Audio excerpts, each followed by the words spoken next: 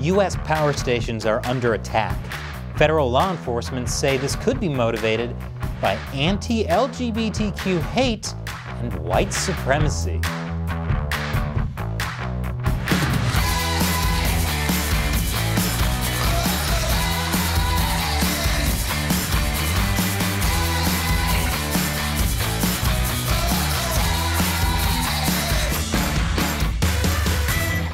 Welcome to America Uncovered. I'm Chris Chappell. America's electric grid is under attack. More specifically, its power stations are under attack. Without them, everything from refrigerators to traffic lights would be taken out of commission. That's devastating because it also means couples would actually have to talk to each other during dinners instead of just watching TV. The latest of these attacks took place in North Carolina. Traffic lights are out. Generators are on and people in Moore County, North Carolina feel challenged by crisis. It's devastating. Authorities say someone with a gun broke through a gate and intentionally opened fire at two power substations in Moore County. Roughly 35,000 customers are without power and will be for most of the week until crews repair and replace equipment. With temperatures dropping, this isn't good news. Things there are getting icier than a couple talking to each other during dinner instead of watching TV. Turns out they have nothing in common other than kind of enjoying reruns of Futurama. But when something like this happens, it has wide-ranging consequences. Local water and sewer services were only working because of backup generators. People were also told to stay off the roads because there were no working traffic lights. The county also closed schools for several days and declared a state of emergency, including a curfew. They closed school. Huh. I think I know who did this. As of this recording, no one has been arrested. No cameras, apparently. There were bullets and brass shell casings left behind, but any fingerprints on the casings were burned away. Meaning the bullets being fired burned away the fingerprints, not that the perpetrator burned their own fingerprints off their hands, like an amazing criminal or a horrible chef. This isn't the first time North Carolina's power grid was at risk. On November 11th, Sheriff's deputies in Jones County, North Carolina, reported that criminal vandalism had caused 12,000 people to lose power for days. Although we don't know the motive behind these attacks, the more recent attack has gotten the attention of federal law enforcement. What happened here Saturday night was a criminal attack, and federal, state, and local law enforcement are actively working to bring those responsible to justice. Now, the Department of Homeland Security, FBI, and ATF joining local authorities in the hunt for who is behind this critical infrastructure attack. The FBI is seeking cell phone records to see who was near the substations during the attack. The FBI is trying to get people's cell phone records? It's shocking that they have to try and don't just have immediate access to them. Guess we're not living in 1984, just 1983. North Carolina isn't the only state that authorities are looking into. Similar attacks have threatened infrastructure nationwide. According to a memo obtained by News Nation, at least six substations in Oregon and Washington state were attacked in November. Power companies in Oregon and Washington have reported physical attacks on substations using hand tools, arson, firearms, and metal chains. In recent attacks, criminal actors bypassed security by cutting the fence links, lighting nearby fires, shooting equipment from a distance, or throwing objects over the fence and onto equipment. And since this was Oregon and Washington, I assume crystals were also involved. This one's for healing, and this one's for criminal vandalism. The memo also suggests that those who attacked the substations had insider knowledge to target critical equipment. In September, Florida also experienced at least six intrusions at its power stations. What possible motives are there for these power station attacks? I'll get to that right after the break. Welcome back. Power stations in North Carolina, Seattle, Washington State, and Florida have been attacked in recent months. This year, threats against the U.S. power grid are at an all-time high. Data from the Department of Energy show there have been at least 900 physical attacks on the U.S. power grid since 2010.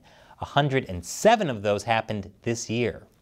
Authorities haven't caught any of the perpetrators, but they believe they have a motive for at least some of the attacks. Anti-LGBTQ bigotry and white supremacy. How did they come to that conclusion? I mean, if they hate people that are represented by rainbows, wouldn't it make more sense to attack solar power stations since you can't have rainbows without sunlight? Eh, I guess science isn't a bigot's strong suit. Well, for the anti LGBTQ theory, there's been no real evidence. But investigators point to the timing of the North Carolina shootings, which coincided with the time a drag performance began. Coincidence?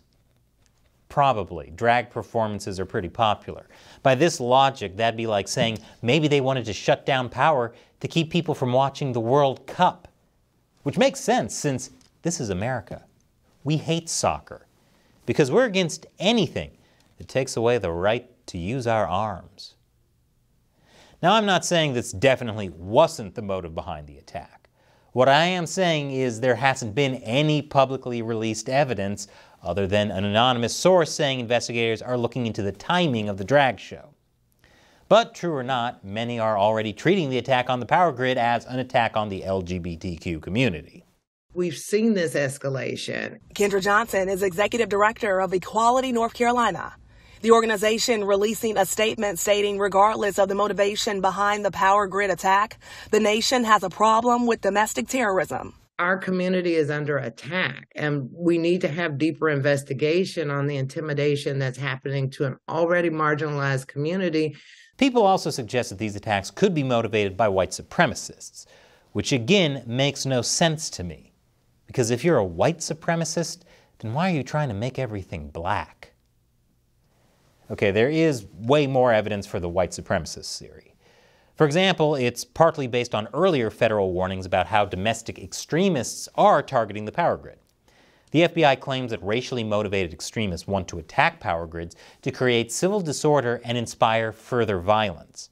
Which I guess makes sense. Nothing makes me want to be more violent than when my Wi Fi goes out. Although the domestic terrorists I blame for that are Spectrum. The idea of white supremacists plotting to attack the electric grid isn't new. According to the U.S. government, attacking power grids has been the subject of extremist chatter for years, especially during 2020. Last year, four men were charged for plotting to attack power grids in Idaho and other parts of the Northwest with homemade thermite and rifles. They made it themselves? I didn't know Pinterest had a section for DI white supremacy. How did the authorities catch these guys? Well, among other things, they made a video montage of themselves. In the video, the participants are seen firing short barrel rifles and other assault type rifles. And the end of the propaganda video shows the four participants outfitted in Atomwaffen masks giving the Hail Hitler sign beneath the image of a black sun, a Nazi symbol.